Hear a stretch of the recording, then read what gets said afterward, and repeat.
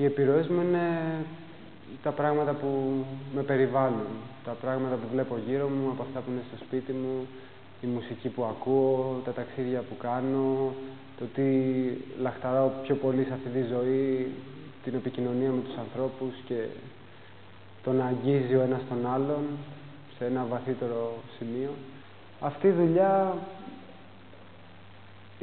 για την οποία είμαι πολύ ευχαριστημένος ε, είχε να κάνει με το γεγονός ότι ήθελα να συνδυάσω πολλά πράγματα μαζί. Να σχηματίσω μία δομή η οποία να, να, τα, να είναι άπειρη στο τι μπορεί να περιλάβει μέσα της. Από αναφορές σε αγαπημένους μου ζωγράφους μέχρι οτιδήποτε με περιβάλλει. Νομίζω ότι σήμερα τα πράγματα έχουν αρχίσει και μπαίνουν το ένα μέσα στο άλλο και ε, δεν μπορούμε να διαχωρίσουμε πλέον τα όρια τους. Και για πρώτη φορά καταλαβαίνουμε ότι δεν υπάρχει διαφορά ανάμεσα σε αυτό που φανταζόμαστε και σε αυτό που νομίζουμε ότι υπάρχει εκεί έξω. Το κάθε έργο για μένα είναι ένα ταξίδι, γιατί αντιμετωπίζω από τη χαρά μου μέχρι τη λύπη μου και όλα τα ενδιάμεσα στάδια. Επειδή τα έργα είναι μεγάλα σε διάρκεια, δηλαδή παίρνει από για αυτά τα συγκεκριμένα έργα μου έχει πάρει από ένα μήνα το λιγότερο μέχρι δυόμισι μήνες για το κάθε ένα από αυτά.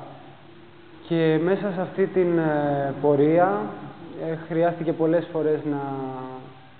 Ε, ένα είδος ασκητισμού. Ξεκινάω από μια βάση, μια ιδέα, μια, ένα τίτλο, μια αίσθηση και σιγά σιγά αυτό εξελίσσεται προς μέρη που ούτε εγώ ξέρω πού θα είναι και που θα καταλήξουν και ένα από τα πράγματα που με κάνει να, τα, να, να θέλω να, να δουλεύω τόσο επίμονα είναι το θέλω και εγώ να δω τι θα γίνει στο τέλος.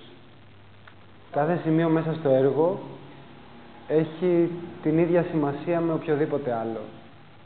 Ε, για μένα ήταν ε, η αίσθηση του φωτορεαλισμού έχει μεγάλη σημασία γιατί όλοι μας πλέον από την εκπαίδευση που έχουμε από το περιβάλλον που μας περικλεί είμαστε εθισμένοι στα μίντια και στην αδρεναλίνη τους. Είναι πολύ δύσκολο να κάτσεις να παρατηρήσεις μια εικόνα που είναι ακίνητη και δεν έχουμε πλέον την υπομονή γι' αυτό. Ήθελα μια ε, ζωγραφική η οποία να είναι κινηματογράφος, να είναι μουσική, να είναι, να είναι πολλά πράγματα μαζί.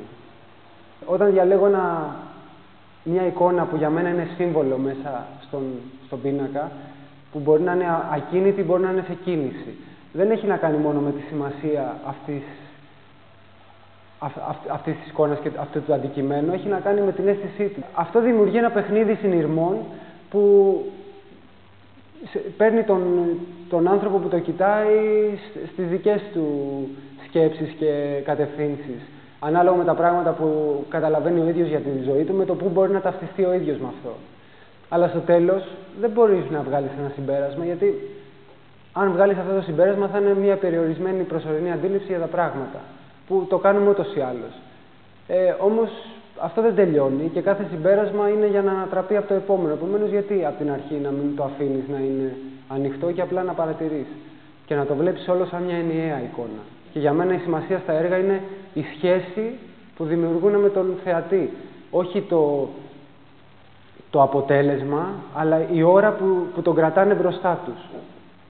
Ζούμε στον κόσμο των αντικειμένων, από...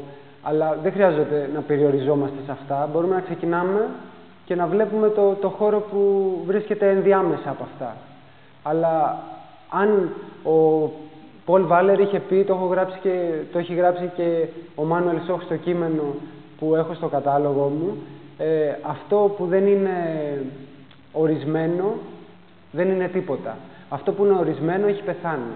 Για μένα αυτό είναι σήμα κατά τεθέν της δουλειάς μου. Και μ' αρέσει όταν τα πράγματα είναι μεταξύ σοβαρού και αστείου, μεταξύ όνειρου και πραγματικότητας. Κάτι που είναι με το ένα πόδι στο γνωστό και το άλλο στο άγνωστο. Ε, είναι μια αίσθηση ψυχεδέλεια για μένα και και την θέλω αυτή την αίσθηση στα έργα μου. Δηλαδή, με συναρπάζει ο ηλεκτρισμός της.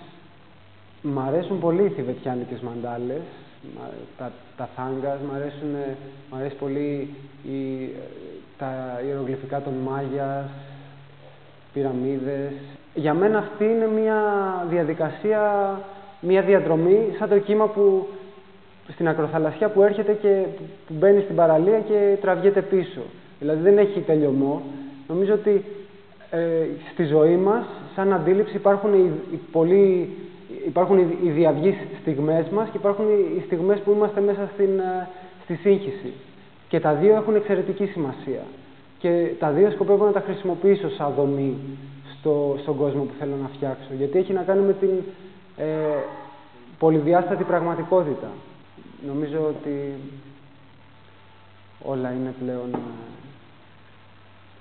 ανοιχτά.